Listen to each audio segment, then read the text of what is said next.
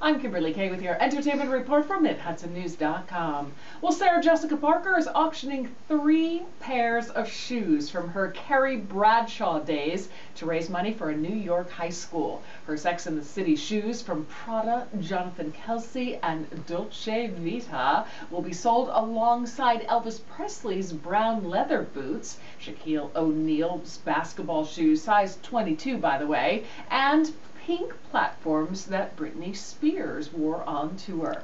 The auction benefits LaGuardia High School of Music, Art, and the Performing Arts. And according to a statement from Gotta Have Rock and Roll, a memorabilia company, it will also feature Madonna's leopard print boots, Sylvester Stallone's fur ones, and Eminem's white sneakers.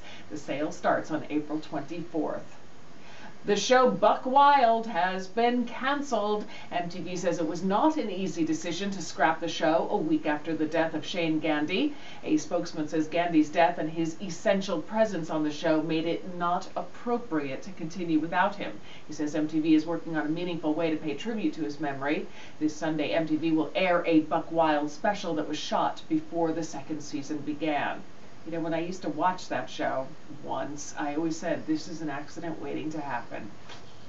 Lisa Vanderpump admits there are certain amounts of relief to be off Dancing with the Stars. Vanderpump fainted during rehearsals and barely made it to the show. Though she looked like she was feeling better, Vanderpump told reporters that it was just smoke and mirrors. She says she knew she wasn't going to win, considering that she was competing against an Olympian and a 16 year old. Well, it turns out that Beyonce and Jay Z's fifth anniversary trip to Cuba was sanctioned by the U.S. government. Two Republican congressmen and others have questioned whether the trip broke the rules of who can travel to Cuba. A Treasury official says the trip was considered an educational exchange, which is allowed under the rules. U.S. citizens are not allowed to vacation in Cuba.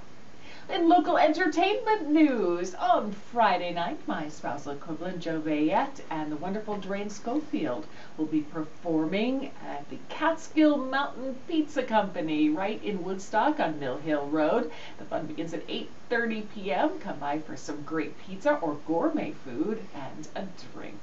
That's your latest entertainment report. For a new update daily, log on to MidHudsonNews.com. I'm Kimberly Kay.